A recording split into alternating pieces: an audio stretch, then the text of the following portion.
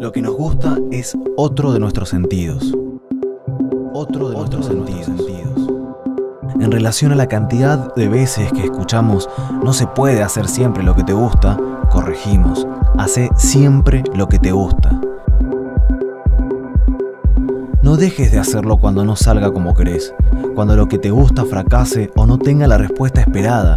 No dejes de buscarlo porque quede lejos o porque parezca un gran desafío o porque se pone difícil. Haz lo que te gusta y de la mejor manera posible, no chapuceramente. Aprende el oficio, sé un buen fan de lo que te gusta.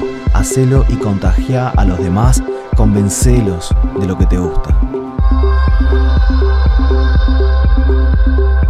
De lo que te gusta, pero si no es posible hoy, fíjate qué podés hacer para que hoy te guste hacerlo. No digamos todo el día, pero sí una buena media hora que irradie energía al resto de la jornada.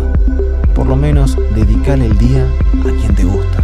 Mientras, seguí puliendo lo que te gusta, seguí entendiéndolo, fiel, tenaz y amorosamente. O quien sea si crees en algo, nos dio eso, el gusto, para guiarnos en lo infinito.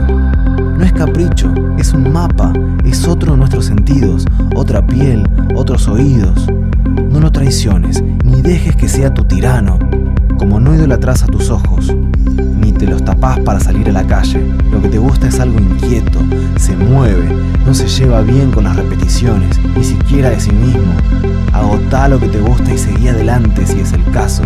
Pero tampoco tengas miedo de quedar atado a alguien. Permanece, sé fiel a quien te gusta.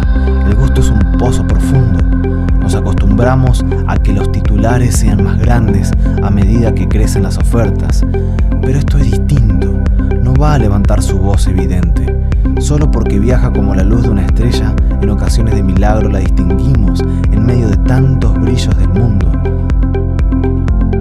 Lo que nos gusta es la luminosidad de nuestras estrellas. Sabremos guiarnos con ellas hacia.